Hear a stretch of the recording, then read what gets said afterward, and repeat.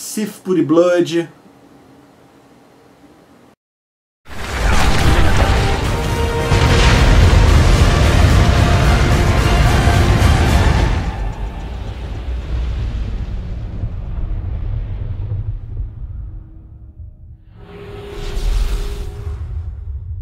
E para começar a falar de leveling, a gente tem que falar da história do jogo e como ela flui durante a sua evolução, durante as suas missões. Quando o BioWare disse que o diferencial principal de Star Wars The Old Republic seria a história, ela não estava mentindo.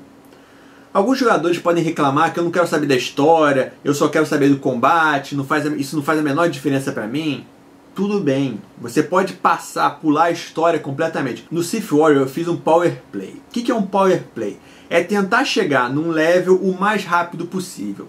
Então eu fiz do level 1 ao level 10 em 4 horas, sem escutar nenhuma conversa, sem per prestar atenção em nada que estava acontecendo nas conversas. Eu fui apertando espaço o tempo inteiro para chegar o mais rápido possível no level 10 e eu levei 4 horas. Então, se você só quer saber do combate, dá para fazer e dá para se divertir.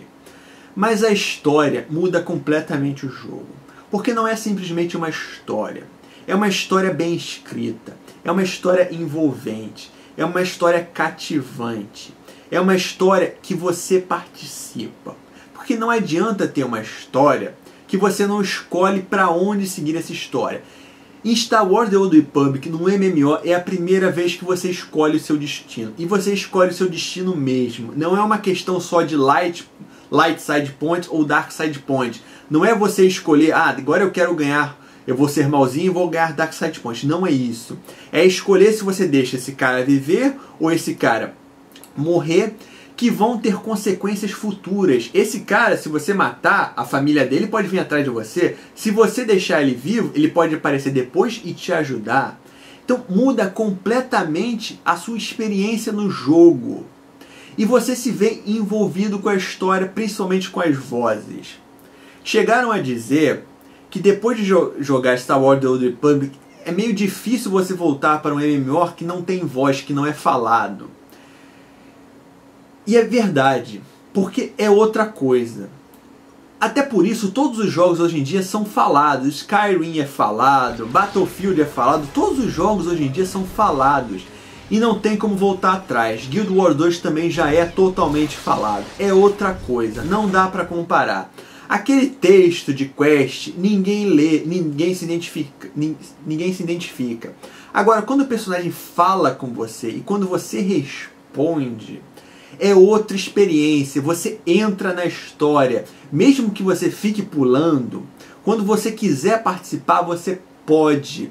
E a história é sim rica, é bem detalhada, é bem feita, é bem escrita, é típica da Bioware, é típica de Mass Effect, é típica de Dragon Age, o que a gente podia esperar da Bioware.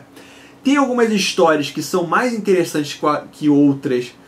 A, história, a própria história do Sith Warrior, mesmo eu pulando tudo, eu já percebi que é uma história interessantíssima. A do Bounty Hunter, outra interessantíssima. A dos Jedi, ela demora a pegar ritmo, mas quando ela pega ritmo.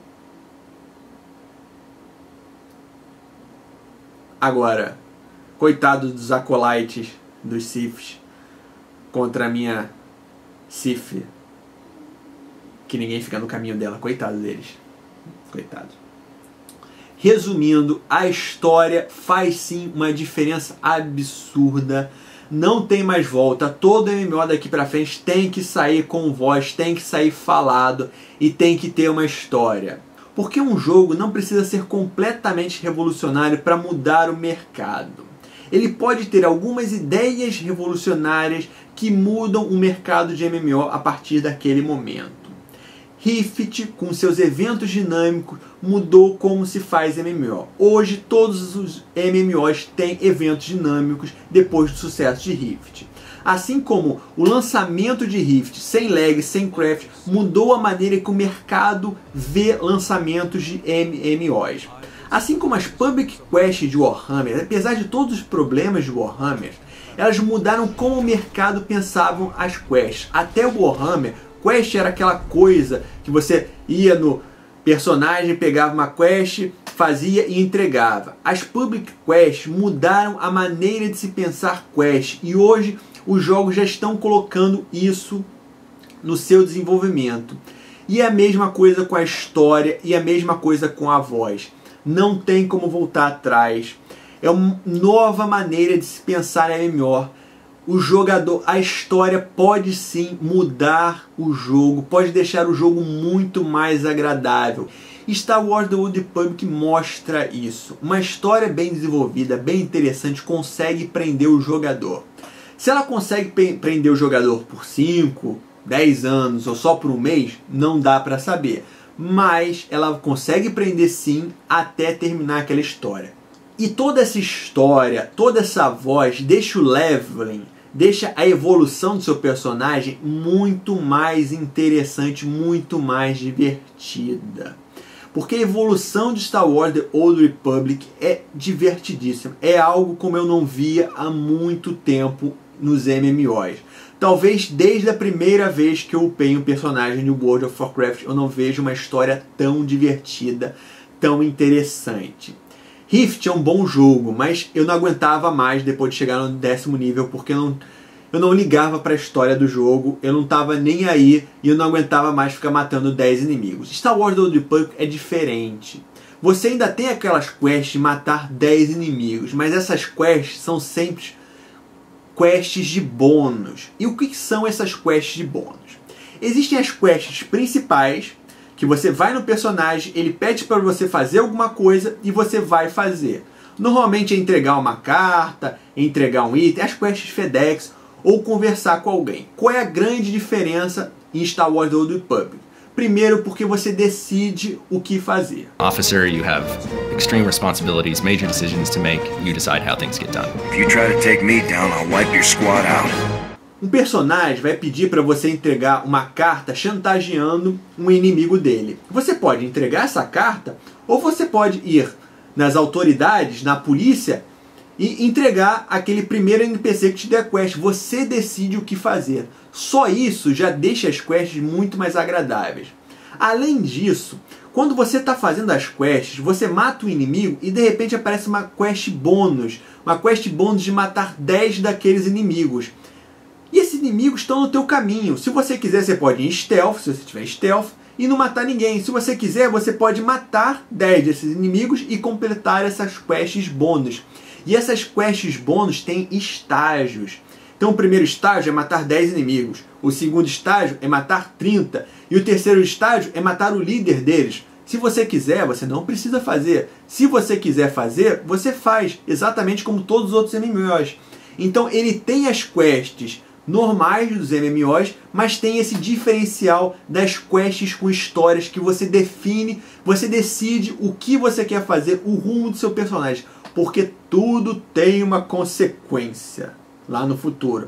Mesmo jogando tão pouco, até o level 15, 12, mais ou menos por aí, não lembro agora. Mesmo jogando tão pouco, já deu para ver as consequências das minhas ações. E são bem interessantes as consequências. Eu sei que quem não jogou pode estar parecendo uma grande enrolação, eu não tô nem aí, eu só quero me divertir matando inimigo. Pode parecer uma grande bobagem, mas quando você joga pela primeira vez, você vê a diferença. Não tem como voltar atrás, já falei isso acho que umas cinco vezes. Mas é muito divertido, é muito interessante, é outra maneira de explorar o mundo, explorar o seu personagem. É uma nova maneira de se fazer quests, é uma nova maneira de evoluir. Além das quests heróicas, é a a volta das quests heróicas para o jogo. O que, que são essas quests heróicas? São quests que você tem que fazer em grupo. Não adianta tentar fazer solo que você não vai conseguir. Você tem que ir com um grupo de dois ou três para fazer essas quests. E elas são completamente opcionais. Você faz se você quiser, mas se você fizer, você vai ganhar um loot legal e vai conseguir se socializar também. Vai ter que chamar outras pessoas para fazer essas quests com você. É bom lembrar que cada classe tem uma história diferente. Mesmo que o Jedi Knight e o Jedi Consular comecem no mesmo mundo, a história deles é completamente diferente. Fazer um Jedi Knight e um Jedi Consular. Você pode até enfrentar os mesmos inimigos, mas a sua experiência de jogo vai ser bem diferente. Suas decisões vão ser completamente diferentes. É quase como se fosse um outro jogo. Não é apenas a mecânica da classe que muda, é a sua história, suas decisões, o que você vai fazer, o que vai acontecer no futuro muda.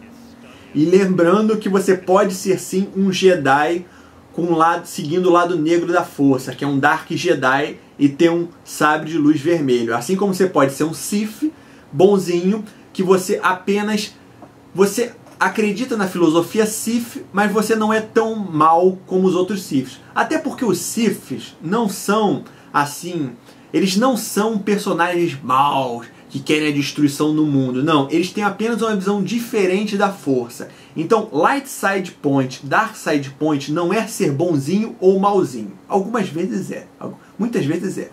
When I finish my ascent, all will bow or face my might. Mas um grande diferencial que eu não dava nada, eu achava que não faria a menor diferença, mas jogando faz uma diferença do caramba são as quests pessoais. O que, são essas quests pessoais do seu personagem? Toda classe tem quests pessoais, são quests daquela classe.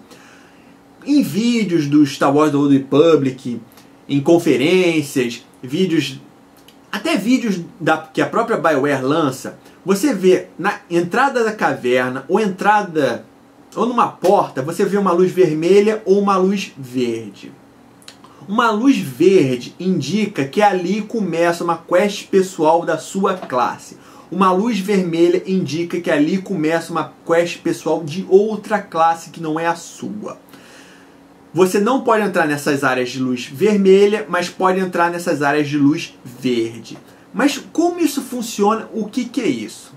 Quando você entra numa área de quest pessoal, você começa a fazer essa quest da sua classe.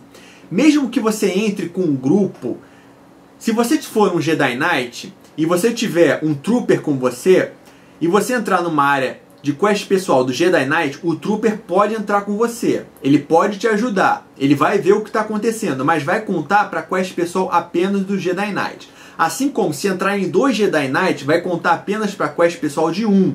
O outro vai ter que fazer uma segunda vez. Até porque vão ter decisões ali dentro que vão contar para as decisões do seu personagem. Então tem que fazer um Jedi Knight por vez.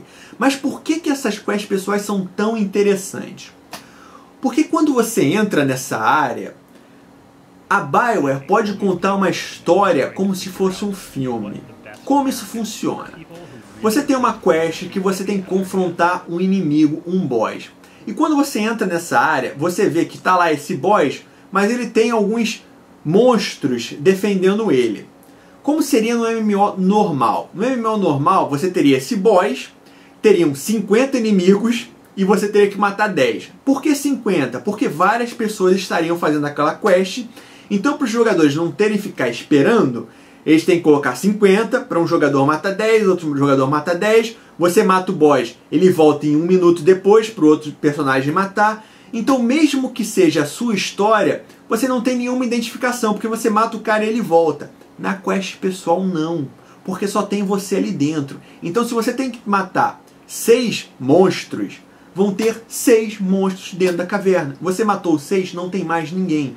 Tem um boss que você tem que matar, você matou o boss, ele não está mais lá, porque só tem você, não precisa da respawn. Respawn. Parece uma besteira, Assim como eu não dava nada para essas quests pessoais, eu pensei que fosse uma besteira, depois de jogar, você vê a diferença na narrativa, na maneira de contar a história. A Bioware pode contar a história como ela quer. É uma evolução do phasing. É mais ou menos como como phasing, como os jogos hoje em dia usam o phasing, só que é uma maneira muito mais direta. Você vê que você está entrando numa quest pessoal, mas funciona muito melhor. Dá para contar uma história como se fosse um filme. É muito legal, vale muito a pena. Tell us where they took it. What do the artifacts do exactly? They will make you more powerful than you could imagine. I have foreseen it. E falando disso tudo, contando a evolução do seu personagem. A área inicial do seu personagem é do level 1 mais ou menos ao level 9. Chegando ao level 9, você vai entrar, você vai ser mandado para sua capital. Você vai ser mandado para sua capital para fazer uma quest. Então você pega uma nave. Só que quando você pega essa nave, você cai na primeira estação orbital. Em cima das capitais tem uma estação orbital orbitando as capitais. E essa estação orbital é muito importante. É como se fosse uma segunda capital, porque dentro dessa estação estão as entradas para todas as raids e todas as flashpoints. E essas estações são muito grandes. E é interessante a maneira como o jogo é feito. O jogo é feito para você seguir uma linha naturalmente, a sua evolução ser na natural. Então você vai do primeiro ao nono nível na sua no seu planeta natal, no seu planeta inicial, chegando no nono nível, você é mandado para sua capital, mas antes você tem que parar nessa estação orbital. E quando você chega nessa estação, você descobre que tem uma nave que está sendo atacada. If the Imperials notice the hatches to engineering opening, they'll flood the area with soldiers. My men and I can handle that. Form up, men. We're gonna go start some trouble. Let's get that bridge open. We'll give those imps something to think about, won't we, boys? I'll go along with Commander Narlock. Once you've cleared a path to engineering, I'll double back and join up with you there. Que é o primeiro flashpoint, que é a primeira dungeon do jogo que você pode fazer no level 9. E é uma dungeon para a República e uma dungeon para Império Sith. Mas as dungeons são, são, bem, são bem parecidas, são quase iguais. Basicamente, essa dungeon é uma nave que está sendo atacada, é uma nave da República que está sendo atacada pelo Sith, ou uma nave Sith que está sendo atacada pela República. Você vai para essa nave, você ajuda na defesa e depois você ataca, você invade a nave que estava te atacando. Resumindo, o Flashpoint é mais ou menos assim tem de 3 a 4 bosses. Por quê? Porque lembra daquelas quests bônus? Também tem quests bônus dentro da instância. E se vocês fizerem as várias fases dessas quests bônus, você ativa um boss adicional dentro da dungeon. Então os flashpoints têm também quests adicionais, tem bosses adicionais. Além disso, os flashpoints também têm conversa. E aí começam as conversas em grupo. Mas eu vou falar isso pro final. Primeiro eu vou falar sobre as dungeons. Essa dungeon do level 9 é uma dungeon para ser feita sem tanque, sem healer. Porque só no level 10 os personagens escolhem suas especializações. E é na especialização que você define se você é tanque, DPS ou healer. Mais ou menos, porque os personagens de Star Wars The Republic são bem híbridos. Mas então elas são feitas para você completar sem um tanque, sem um healer. Mas a primeira dica que eu dou é não entre nessas dungeons sem pelo menos uma classe que possa healar. Senão pode ficar complicado. Pelo menos uma classe healando para ser bem interessante. As dungeons são bem grandes. Elas são grandes para dungeons iniciais, principalmente a dos Siths. Ela é bem grande, a dungeon dos Siths. Três bosses. São bosses simples, lembrando que vocês estão no level 9, não tem tanque, não tem healer. Então são bosses com mecânicas simples, mas até que são divertidas, talvez um pouco grande demais. E aí começam as conversas, começam as decisões. Dentro dessas dungeons também tem as famosas conversas e as famosas decisões. Os jogadores vão ser confrontados com situações em que eles vão ter que decidir qual caminho seguir. E como isso funciona em grupo. Você entra numa conversa, você vê o que está acontecendo e você escolhe o que você quer fazer. Depois que todos os jogadores escolherem o que eles querem fazer, o sistema joga um dado e quem tirar o maior número escolhe qual vai ser a resposta. A resposta do grupo vai ser a resposta daquele jogador.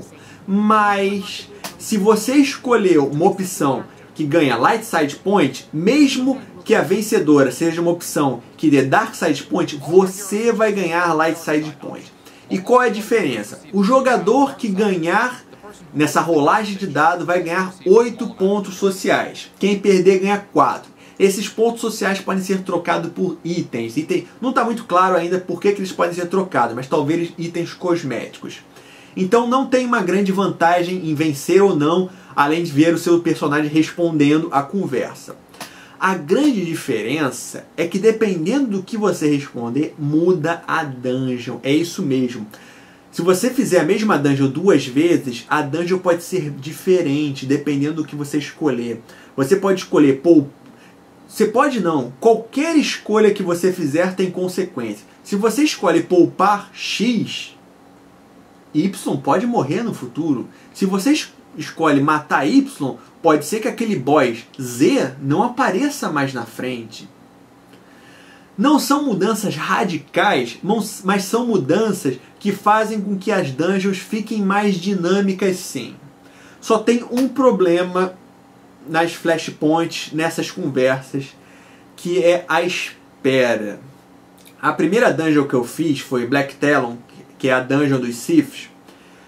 Metade do tempo que eu fiquei dentro da dungeon, eu fiquei esperando os outros jogadores escolherem a sua resposta. Porque como eu falei, eu fiz um power play, então eu não lia o que estava aparecendo. E até porque eu queria saber se isso teria alguma influência no jogo. Então eu ia apertando espaço, dane-se. E eu escolhia sempre a opção mais maléfica possível. Só que para o sistema escolheu qual foi a resposta vencedora para aquela situação, todos os jogadores têm que passar por todas as etapas da conversa. E às vezes essa conversa tem três, quatro falas, quatro cinemáticas. Então se você pulou, se você já fez essa dungeon, você tem que ficar esperando todos os jogadores chegarem naquela etapa e escolherem a opção de resposta. Eles têm 30 segundos para fazer isso. Mesmo assim, às vezes demora demais. Demora demais mesmo. Fazendo nesse power play ficou, ficou chato. Metade do tempo que eu fiquei dentro da dungeon foi esperando a conversa dos outros jogadores. Talvez menos enrolação e mais decisão funcionasse melhor. O que, que eu quero dizer com isso? Se tem uma situação que os jogadores têm que escolher qual vai, o que, que eu quero fazer com aquele personagem, em vez de ter quatro conversas, cinco falas antes de chegar no momento de decidir o que fazer com ele, em vez de cinco, duas, talvez funcionasse melhor. Principalmente lembrando que você vai fazer aquela dungeon duas, três vezes. O jogo vai ser lançado com 15 dungeons, mas você vai fazer cada dungeon mais duas ou três vezes. Então talvez menos conversa funcionasse melhor. Mesmo assim, essa dinâmica de escolher o seu caminho dentro da dungeon, quests bônus dentro da dungeon, são muito legais, são muito interessantes. Também era algo que eu estava apreensivo para ver como funcionava. Levou uma nota média, porque tem um lado negativo, tem um lado positivo, mas é interessante.